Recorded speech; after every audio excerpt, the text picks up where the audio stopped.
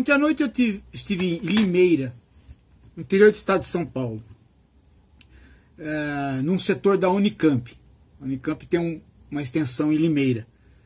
E eu fui fazer uma palestra para o pessoal da tecnologia, faculdade de tecnologia, de engenharias, engenharia florestal, engenharia ambiental, TI, série de áreas técnicas, que eram 10 anos de aniversário daquela extensão da Unicamp.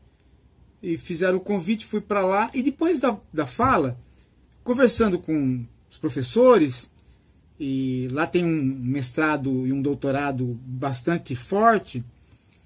Conversando com esses professores, eu eh, notava que eles nunca ouviram falar de Olavo de Carvalho. Eles ficaram sabendo da existência de Olavo de Carvalho agora, nas eleições. Né? E também eles nunca ouviram falar do próprio Bolsonaro. Eles não tinham. Alguns ouviam, mas não sabiam nunca se interessar em saber quem que era esse deputado Bolsonaro. Né? Então, é, eu, eu, notei que. É, muito, e, mas só que eles conheciam agora o canal e estavam acompanhando. Né? Então eu noto que é, muitas vezes nós conversamos muito entre pessoas, entre pares, principalmente nós que usamos a internet, nós conversamos muito entre pares que acompanham a política. E nós achamos que outras pessoas só porque são bem informadas, porque são doutores, são engenheiros, são médicos, são gente da própria TI que lida com a internet acompanha. Mas outras pessoas têm outros interesses e não acompanham. E, e eu estou dizendo isso para que a gente possa entender que há uma certa dificuldade é, de se perceber quem é o Bolsonaro. E quando uma pessoa chega a um cargo de poder, é muito difícil para que as outras levem essa tal pessoa como sendo um abobado. Ninguém acredita que um abobado pode chegar à presidência da República. Quando você entra no Banco do Brasil e vai falar com o gerente, você nunca acha que o gerente pode ser um retardado mental. Quando você entra num, numa, numa, numa repartição pública, você vai falar com o chefe da repartição, você nunca acha que você vai encontrar ali né, um tonto, mas isso é uma mentira, gente. Isso é uma mentira tão grande quanto aquela mentira que contam para você que o motorista que vem do lado de lá é tão racional quanto você. Ele pode estar tá bêbado, ele pode ser um louco, ele pode estar tá com vontade de matar você e jogar o carro em cima de você. Você confia por quê? Por fé. por fé. É a mesma coisa assim na vida. Uma grande nação pode ser governada por um tonto. Nós já tivemos o Jânio Quadros, ele era um tonto. Um tonto bêbado. Os Estados Unidos tem um Trump. Ele é infantil, o Trump. De longe é mais fácil ver, mas quando a gente está perto, quando somos nós os envolvidos, a gente não percebe. Eu conheço a carreira do Bolsonaro inteirinha. De antes, inclusive, dele ser é, deputado. E eu sei que ele é limítrofe. Ele, eu sei que ele tem uma limitação mental assim assustadora. É, que também o Olavo tem. Porque são pessoas que você dá uma regra de três para elas, elas não resolvem. Mesmo você ensinando qual é o mecanismo, elas não resolvem. Então, isso é um limite grave. E eu estou dizendo isso para que vocês parem de acreditar, gente, que existe um plano de governo montado pelo Bolsonaro para vocês pararem de acreditar que existe alguma coisa por detrás, que o Bolsonaro está armando alguma coisa. Vocês pararem de acreditar também que o que ele fala é cortina de fumaça para esconder outras coisas.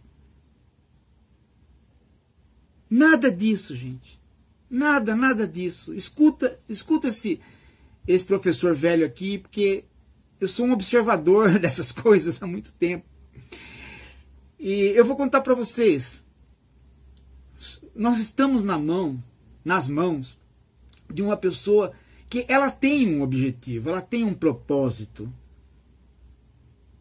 Só que ela tem um propósito que não é o propósito de um estadista ou de um governante.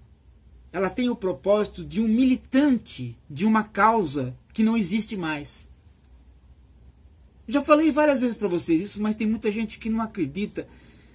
E eu estou insistindo nisso porque isso vai dar clareza para vocês entenderem o desdobramento do governo Bolsonaro e por que é que e por que é que ele não toma nenhuma atitude, que ele fica tomando tapa dali, tapa daqui, tapa dali, tapa daqui, né? Tem o, o grupo dos, do, das Olavetes dá tapa, o grupo dos militares dá outro tapa, o Guedes e os liberais, liberais dão outro tapa, a base do PSL vai lá e dá outro tapa, e ele, né, não reage, ele não toma uma atitude, ele não, ele fica com aquele, aquele, aquela risada abobada, né? E as pessoas acham que ele é tolerante. Não é que ele é tolerante, ele é um tonto. Ele não tem o que dizer para as pessoas.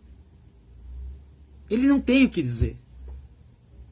Ele é o cara que foi votar contra Dilma no impeachment e ele teve que escrever as três palavras, porque ele não conseguia lembrar de três palavras que ele queria falar ali. Ele é esse cara, gente. Ele é um simplório.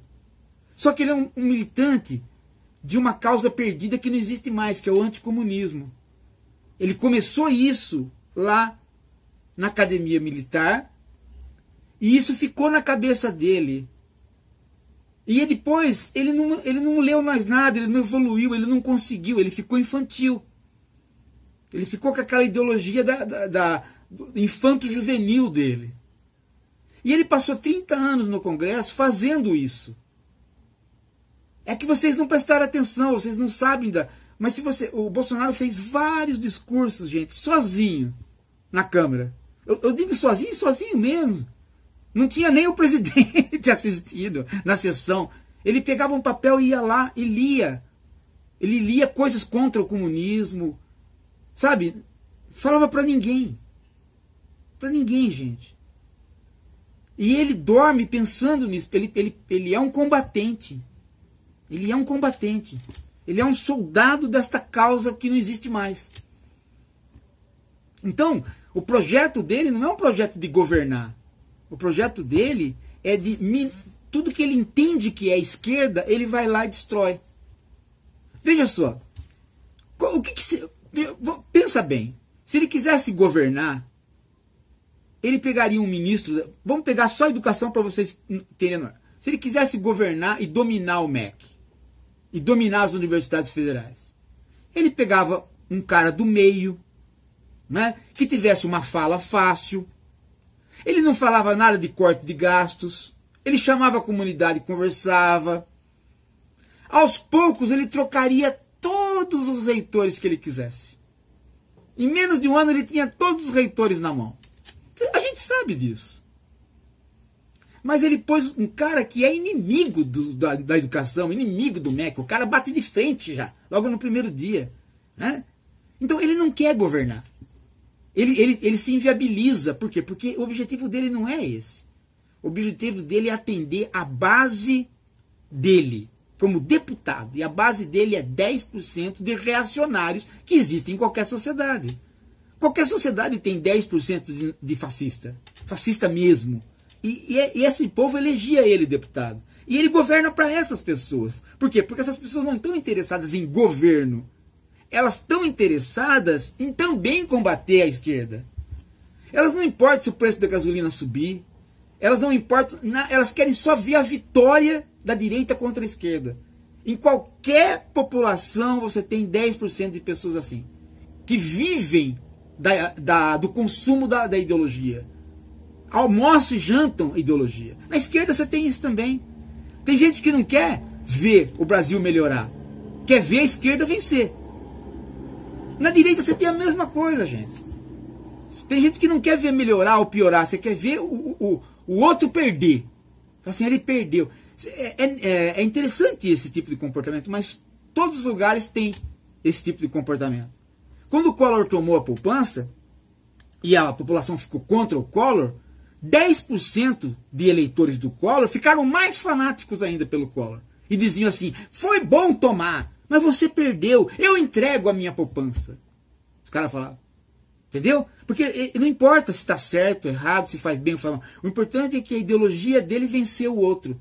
É um, é um espírito infanto-juvenil de competição. É uma coisa tonta. E Bolsonaro atrai muito essa coisa tonta. Então a pessoa fica, pô, mas o que, que ele vai fazer agora? O que, que ele vai fazer agora? Ele não vai agir de maneira racional. Ele vai agir de maneira a tentar quebrar as coisas que ele entende, que ele entende que foram da esquerda. Então, armamento, a esquerda não gosta, então vamos aprovar. Né? Ele tenta dar combate às pautas que ele, durante 30 anos, viu a esquerda massacrar ele. Né? Dado, que ele era, dado que ele era o único anticomunista ali, a esquerda batia nele. Né? Então, veja como ele cresceu. O Bolsonaro não é nada. Veja como ele cresceu quando apareceu o João Willis que dava interlocução para ele. Ele ficou tão contente de, de, aparecer o João Willis, porque o João Willis respondia para ele. Né? Ele fazia eh, sinais obscenos para o João Willis, o João Willis se irritava, respondia para ele. ele. Ele foi crescendo, ele ficou, ele ficou muito contente com isso. Ele sentiu que, que existia, que existia o parlamento para ele. Quando ele conseguiu uh, entrar em, em bate-boca com a Maria do Rosário, ele perdeu a paciência com ela. Né? Ele perdeu a paciência com ela, empurrou ela e tal. Mas ele ficou muito contente de ter feito isso depois. Tanto é que quando ele foi explicar para o Supremo, ele falou: Mas a gente está aqui num, num embate ideológico. Vocês têm que entender que num embate ideológico, sério, a gente perde mesmo a cabeça. E ele foi sincero nessa hora. Por quê? Porque ele realmente está no embate ideológico. Ele realmente está ali voltado para realizar ideais de 64, da linha dura de 64, do, por exemplo, a linha do Frota, né? linha do general Frota, né? do passado, que é tentou dar um golpe no Figueiredo, era chamada linha dura, né? de dentro das Forças Armadas.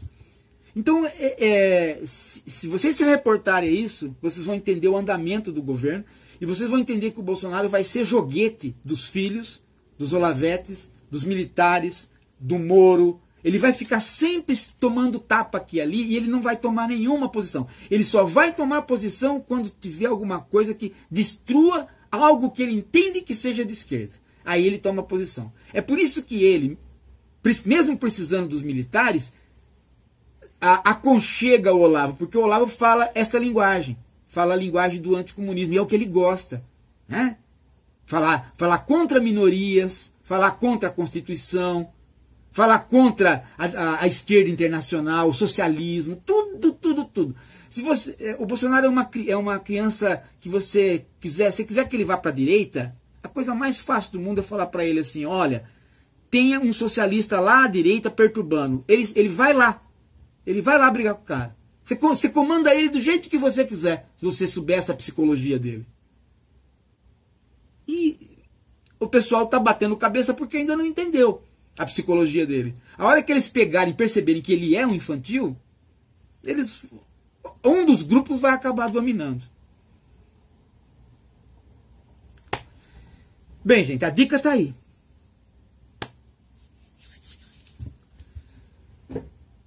Esse é o tipo da coisa que se eu não soubesse eu não falava, viu, gente?